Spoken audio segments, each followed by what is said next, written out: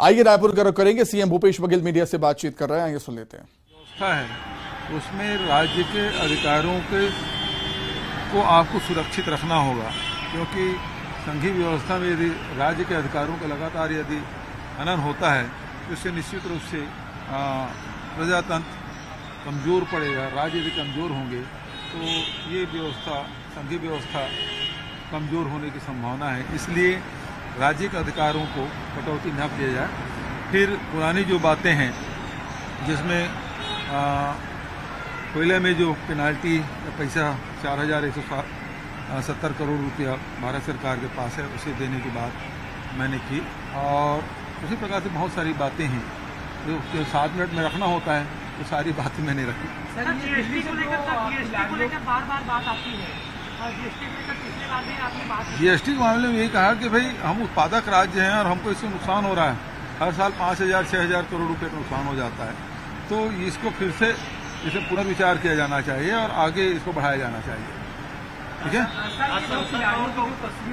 ये जो खिलाड़ियों की जो तस्वीर सामने हाँ आई है है। देखिए ऐसा है केंद्र सरकार की स्थिति ये है कि जो कहते हैं उसको उल्टा करते हैं। कहते हैं पंद्रह लाख रुपए देंगे तो वो सबके जेब से पैसे निकाल के, नोटबंदी करके सबके पैसे निकाल के जेब वहाँ बैंक में डलवा दिए और उसके मित्र लोग लेके फरार हो गए। दूसरी बात है, किसानों को आय दुगुनी करने की बात उन्होंने कही थी, खर्चा दुगुना हो गया किसानों को। गैस सिलेंडर उज्ज्वला योजना घर घर में पहुंचाएँगे। अब स्थिति ये है कि पहले गैस के चूल्हा में जो लकड़ी या कंडे से जलाते थे, धुएँ से आँसू आती थी हमारे गृहणियों के। अब तो महँगाई के कारण से आँसू आने लगे हैं, क्योंकि 400 के गैस सिलेंडर है वो साढ़े ग्यारह सौ, बारह सौ रुपया हो गया है। तो जो कहते हैं उसको उल्टा करते हैं। रोज़गार दो दो करोड़ लोगों को हर साल देने की बात कर रहे हैं। अब वो साल भर में साठ सत्तर हज़ार नहीं दे पा रहे हैं। तो ये स्थिति है।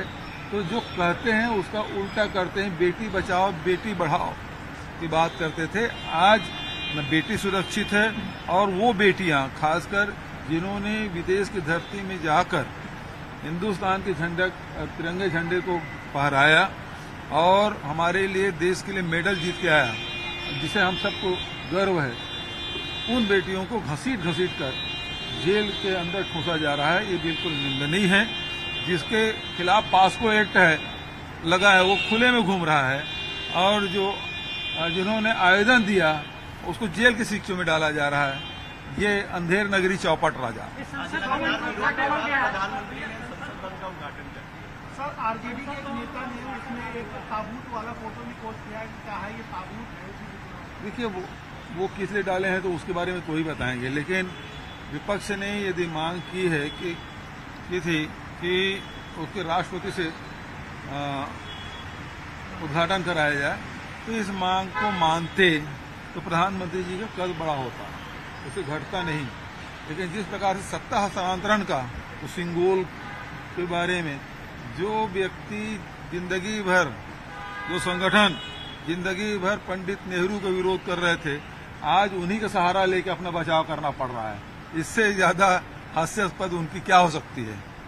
वैचारिक रूप से नेहरू जी के जो लगातार विरोध कर रहे हैं, आज सारे नेशनल टीवी में आप देख लीजिए, नेशनल अखबारों में देख लीजिए सब नेहरू जी ने जो सत्ता हस्तांतरण के जो उस समय जो दिया था, उसके बारे में, उस सिंगोल के बारे में बताया जा रहा है। लेकिन उस समय तो ब्रिटिश जा रहे थे और देशवासियों को आइए अब देखेंगे पंद्रह सेकंड में खबरें। पीएम मोदी ने देश को समर्पित किया नया संसद भवन, स्पीकर की कुर्सी के पास स्थापित किया गया सेंगोल वैदिक मंत्रोच्चारण से गूंजी नई संसद। हवन पूजन के साथ हुआ नए संसद भवन का उद्घाटन। पीएम मोदी और स्पीकर ओम बिरला पूजन में रहे मौजूद। चेन्नई में आए धर्मपुरम। चेन्नई से आए धर्मपुरम अधीनम मठ के 21 अधीनम महंत ने पीएम मोदी को सौंपा सेंगोल। पीएम ने सेंगोल को दंडवत किया प्रणाम। प्रधानमंत्री मोदी ने सेंगोल को दंडवत प्रणाम किया। स्पीकर की कुर्सी के बगल में स्थापित किया गया सेंगोल लोकसभा स्पीकर ओम बिरला भी रहे मौजूद। नए संसद के उद्घाटन पर सर्वधर्म सभा का आयोजन, प्रार्थना सभा में केंद्रीय मंत्री और राज्यों के मुख्यमंत्री रहे मौजूद। पीएम ने श्रम योगियों का किया सम्मान, पीएम ने संसद के निर्माण में योगदान देने वालों को पहनाई चादर, मंत्रोच्चारण के बीच सेंगोल को स्पीकर की कुर्सी के नज़दीक किया गया स्थापित नए संसद भवन से स्मारक डाक टिकट जारी, पीएम मोदी ने किया जारी। पीएम मोदी ने पचहत्तर रुपये का विशेष सिक्का किया जारी, वित्त मंत्रालय द्वारा विशेष सिक्का किया गया था तैयार। नए संसद भवन में मोदी मोदी के लगे नारे, संसद में मौजूद सांसदों ने लगाए नारे। इसी के साथ ही फ़िलहाल इस बुलेटिन में इतना ही, नमस्कार।